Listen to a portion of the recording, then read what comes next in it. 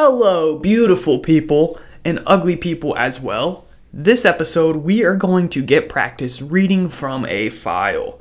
Now, we've talked about this. It's nothing crazy. I know you guys aren't like, wow, that's awesome. Because it's the basics. But in this episode, we're going to get more practice. So, not only are we going to just read like one little thing from a file, but we're going to read a maze from a file as well as a starting position, and we're going to see if it's solvable. So that is the goal. If you have a little bit of experience with file reading, maybe this will be review. But either way, it's going to be some good practice because it's a little bit more complex. So yeah, where do we even get started with this? Well, the first thing you need to understand with I.O. is that the format really does not matter because we are in charge of reading from the file, and if you're outputting to the file as well, you're in charge of output. So you can put it in whatever format you want as long as you stay consistent. And ideally, you put it in a format that's at least somewhat human readable so a person can go in there and, and look at it or modify it or whatever it might be. So we're going to make the format pretty readable because we want people to be able to go into the text file and add mazes to the text file. We're going to start with one maze, but then we're going to go around and hopefully put it in a loop so people can put in multiple mazes into a file and we'll just solve all of them. So that's the goal. We might not get to all of that in this video, but we will definitely get through one maze. I have no idea what's going on with my hair, so I apologize if it's super distracting. Anyways, what we're going to do is we're going to store this in a text file. So inside of our package explorer, we can say new uh, untitled text file. And we'll just put a space in there and save this. We'll just call it mazes.txt uh, and put this inside of maze solver. TXT, not TXR. Come on. There we go. All right, and we're just going to take this uh, and just cut it and paste it. So we're not going to have it in this format because this has a bunch of Java crap that we don't need. We're just using it for reference so we can modify it to make a maze in a text file. And we're not going to need that inside of our code anymore. And we're not going to need this other one either. So let's just get rid of those. All right. So right now, all it's going to do is it's going to iterate through this empty list and do nothing. so what we need to do is we need to fill in this gap and fill list from file, starting with just one, and then we'll learn how to get multiple mazes from the mazes.txt file. So first things first, we need a scanner. So let's see if I can get the syntax for this. And then we want a new file. And then in here we just give the file name mazes.txt. And we need to do some imports, so import file from java.io and scanner from java.util. I don't like this. Okay, we just need to say, uh, we could just say add throws declaration. We're not going to worry about exceptions. We might do that in an upcoming episode, just kind of focus on exceptions and error handling. But for now, I just want to focus on reading from the file. So this isn't production. I'm not going to worry too much about exceptions. And if we get them, we'll just deal with them when they come. So the next thing is we need to basically represent this data. And we ultimately want to get to a 2D array like this. And with 2D arrays, you need to consider that they're not always going to be square. So they can be wide or they can be really long.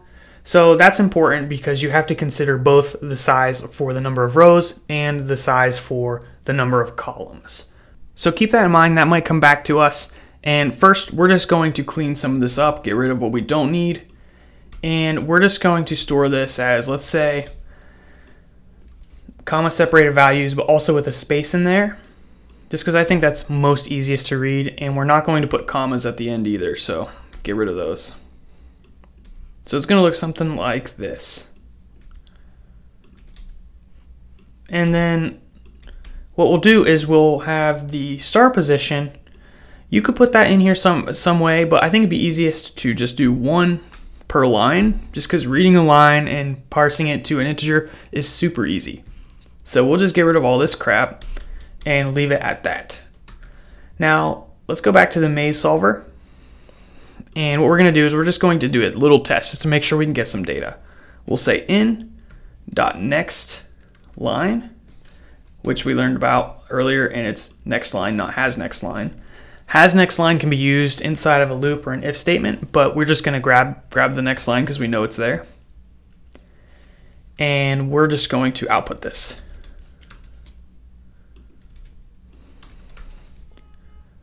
Running this, you can see we get that first line as a string, and that's beautiful. Now, one of the string methods I talked about in my Java series was split. Now, when you want to do this, you don't do it on the scanner itself, you do it on a string. So we actually need to store this as a string so you can use another variable, or you can call it on it directly once you do next line because that'll return string. You can say split and pass some uh, pattern to match to. Uh, we'll just put a comma and a space there. I know that will work. If you want, you can put a more complicated regular expression, and I'm not going to do that. So let's run this. Okay, so what did we get? We got this address, which is what we wanted. I mean, it's not what we wanted, but it is correct because we're printing out an array. So it sort of worked. All right, so what we can do is we can actually store that as an array because it's going to basically take each one of these numbers and split it out into its individual elements inside of an array. So that's like the first step. And I'm just going to start with a string array. So we'll just say items like so. And that should work. And what we can do is we can set a breakpoint after this and we can take a look at the items array just to see and make sure you click debug and not run. And then go into uh, nothing. You just hover over items and you can see the elements right here. So that's exactly what we want. But now we have to figure out how to put them into numbers, so integers, not strings, because we want an integer array. I mean, we could use strings just the same, it probably wouldn't matter, but just for consistency with what we've been doing, I'm going to convert them to numbers so we don't have to worry about any typing issues later on in our code. So I want to just basically isolate the rest of our code and just worry about the input, getting it to the right format to match everything else. Now to convert a string array to an integer array, I actually looked up how to do this because I couldn't think of an easy solution besides iterating through the data and putting it in an integer array. And I was like, there's got to be a more elegant solution, or at least something that you could just copy and paste and would work without having to build out a bunch of loops and stuff. And I actually found something. So on Stack Overflow, it's called converting string array to an integer array. Very creative, I know. And here is a good concise way to do it. So it's not easy to really consume and be like, oh, this is what it's doing, but it, is easy to put in your code because it's only one line and you can just comment exactly what it does. So I, I'd say it's fairly readable, at least knowing what it does. So what you're going to do is you're going to need to import arrays from java.util, which will give us a bunch of array methods. And this line, this refers to the string, which uh, that's this right here. So I guess we would have to break this out a little bit. So we can say string line is in dot next line. Uh, yes, and then just get rid of the split. Actually, just get rid of the whole line. There we go. And terminate that. I always forget to debug. Ah, to stop debugging. Okay, so in theory that works. Let's just, we got that breakpoint there. Let's debug and just make sure that numbers Okay, that did not do what I wanted. Uh, we need a space after the comma because it wasn't matching the format because we have the spaces here. So either we could delete the spaces in the input or we could add the space in the code. As long as you're consistent, it's fine. So I'm gonna put the space here. I personally think this is easier to read than getting rid of all those spaces. But for pure comma separated values, I think you're going to want to get rid of those spaces. So you can look up CSV if you want to know the details on that, but I don't, so I'm just going to do this. Beautiful. So let's try this again. Debug. Take a look at numbers. And you can see we got those numbers right here, so we're good. So stop debugging. Go back to the console. Clear this out. So now all we would really have to do is put this in a loop and do it for each row of that array to make it a 2D array. But there's one issue, and that is if we want to use a loop, we need to figure out when to stop. So I think the easiest way to do this would just be in the input, put the number of rows. So let's just do that. So one, two, three, four, five, six.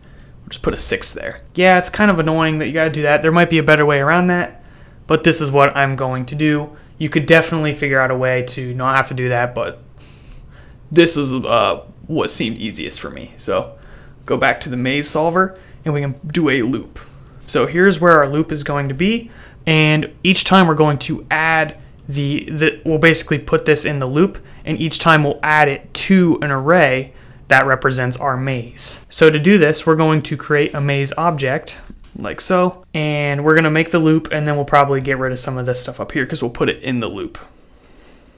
So we'll say i is equal to zero, i is less than, oh, we need to get that, that number from the text file. So we'll just do that here. We'll say int rows and get in dot next line. And we're going to, oh, why does it always do that? It switches to has next line. It drives me crazy. And we'll parse that using integer dot parse int. And we're just going to pass that in as an argument. So that'll get us the number of rows. And then we could use that to see when to stop the loop. So we'll say as long as i is less than rows, we're going to increment i. And for each iteration of the loop, we're going to get a new line and create that array. And where is this array going to go? It's actually going to go in m dot maze index i. So the first iteration is going to be the first row, then the next row, and so on.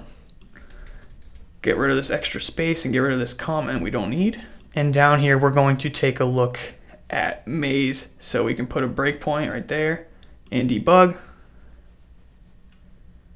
All right, so we can hover over M and it's going to, oh, actually, let's continue. We gotta step over this line here. I'm confusion. It should stop right here. Let me try this again. All right, eh, we're getting an exception. Yeah, we need to make that array. We need to initialize that array, the maze. I forgot to do that. So after we get the rows, we'll just say m.maze is equal to new int. And for the number of rows, we'll just say rows like that. So that's how we can initialize that. Now let's try running it first, see if we get, all right, we don't get an exception. So let's debug. And I forgot to put my breakpoint back in there. It stops here and we can hover over M just to make sure our maze looks right. So expand maze and you can see each one of these rows. You can see the values right below it. So it looks like the maze was put in there correctly, and then we can just get two more lines to get the starting position. So where are we gonna do that? We're gonna do that right here. So we'll say m dot starting position, start, is equal to new position, and this is a, a constructor that takes the y first and then the x. So for the y, we will say in dot next line, not has next line, and then we'll say it again for the x in dot next line right there. And you would have to parse these as well. So you can do these separately and assign them to variables if that's cleaner, whatever you want. So we'll just say parse int and pass in that and then do it again. There we go. So that's quite a lot, but um, that should do the trick. And then we can check just to make sure we got that starting position right. So we'll debug, hover over M, and the start position, we got X is 8 and Y is 4. That's exactly what we want because the Y comes for first, Y is 4, X is 8. Beautiful.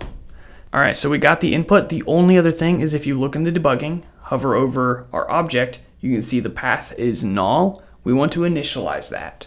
So we don't have any nulls. You could do that in the default constructor just to make sure we don't have any nulls if you wanted, or you can do it inside of your code here. So all we gotta do is first stop debugging and say m dot path is equal to a new array list of type position. Now, when we start adding junk to the path, we're not gonna get any exceptions. So this wants a linked list. So we'll just make that linked list. And there we go. So when we initialize this, we shouldn't get any exceptions later on when we say path.push. You can't push to a null list. So that's one of the things when you're not working with the primitive types, you will need to initialize them because they're going to default to null. So let's run this, see if we get any issues. Go to the console, and it looks good. We just have to add it to the list. So we'll say mazes.add and pass in m. Run this, and you can see we won. So it read it correctly, it did the path, and said that it was solvable. Oh, that was a lot. Lots of stuff going on here. And that's just to read one maze. Adding a loop's not going to be a whole lot, but maybe there's some other stuff we can do to clean this up. So that's what we're going to be doing in the upcoming episode. Hopefully you got the basics of reading from input. I think we could make it better though, so we'll try to do that. Now one other thing is like for this new linked list position thing, you can cut this and you could put that inside of your class. Go into maze. For the linked list, you can default that to a new linked list. Get rid of that extra semicolon. and there we go. Now, that's all we really need for that. We don't need to do anything else, so we can actually get rid of this line here. And it should work exactly the same way. Run it, and it still works. So thank you guys for watching. Hopefully that was a good introduction to reading from files and how to actually build a program around the input on those files. So thank you, be sure to subscribe, and I'll see you in the next episode. Peace out.